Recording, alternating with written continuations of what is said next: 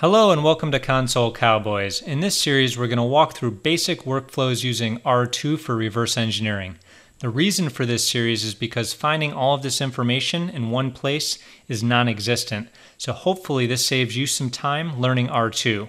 I'll push these videos out over the next couple weeks. Hopefully, you find them useful. If you do, please subscribe and like the video as it helps with the YouTube algorithm. Now, let's get into it. The first thing you'll need to do if you want to follow along is grab the code for this video.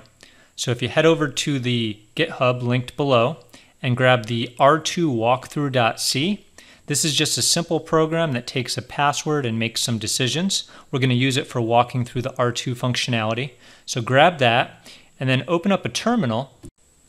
Let's compile the application with GCC.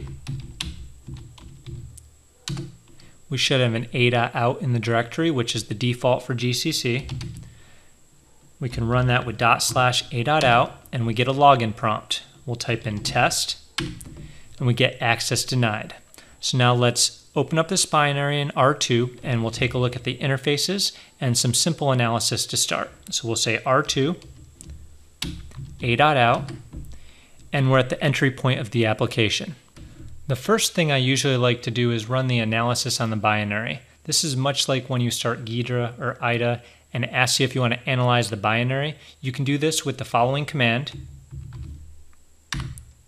So with the AAA, we analyze stuff like the flags and we're parsing C++ variables, etc. If you want to get more information on these commands, you can always type a question mark after them, so a question mark. And you'll see here A analysis information, AA analyze all, or if we want more information about analyze all, we can hit a question mark, and then we see AAA, and you can see exactly what that is.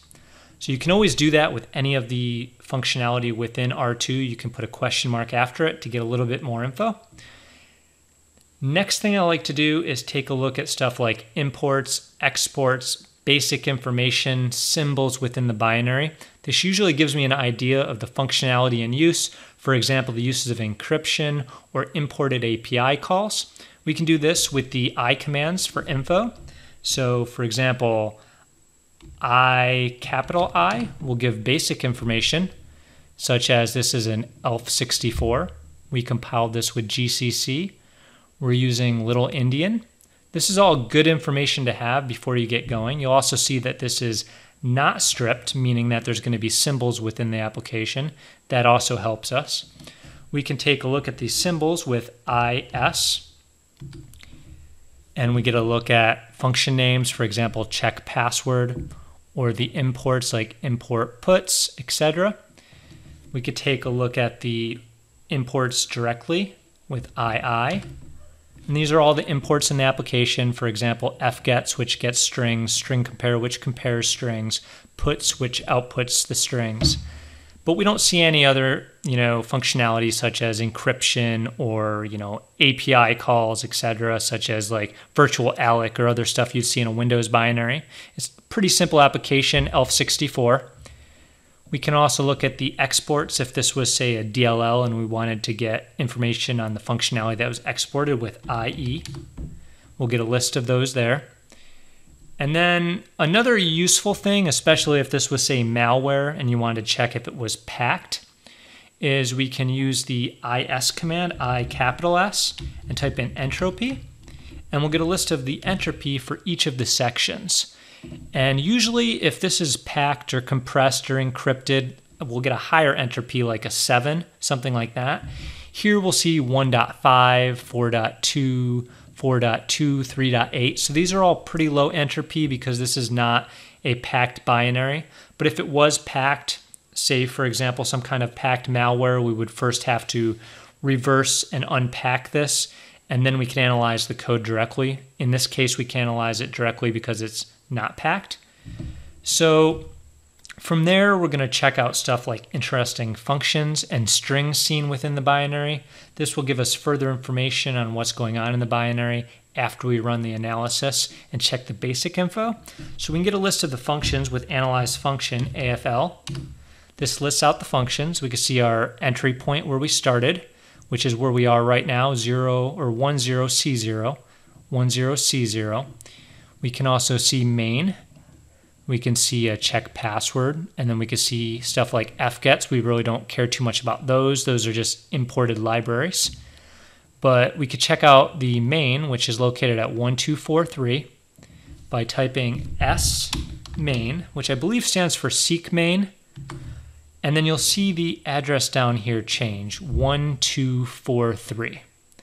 So in here is likely code that we want to check out. If you want to take a look at the disassembly and dive deeper into the specific functions and operations, you can print out the assembly instructions with PDF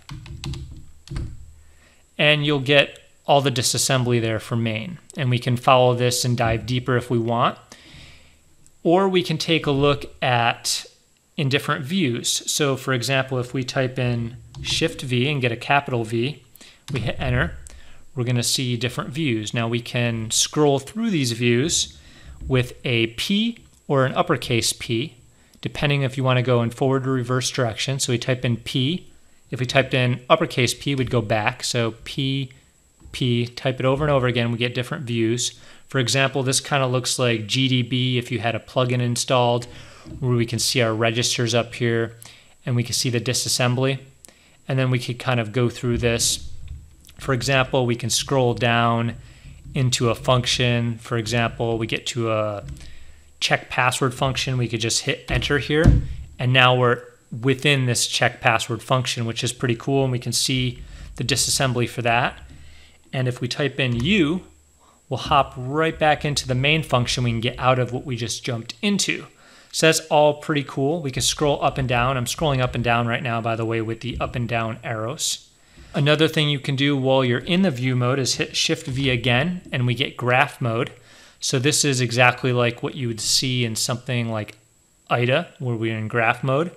We can also switch back and forth with the spacebar, just like that. So if we scroll down to something like check password again and we hit the spacebar, we would get the graph mode of that and see the different directions the program can go based on the input that's in and the decisions that it's making.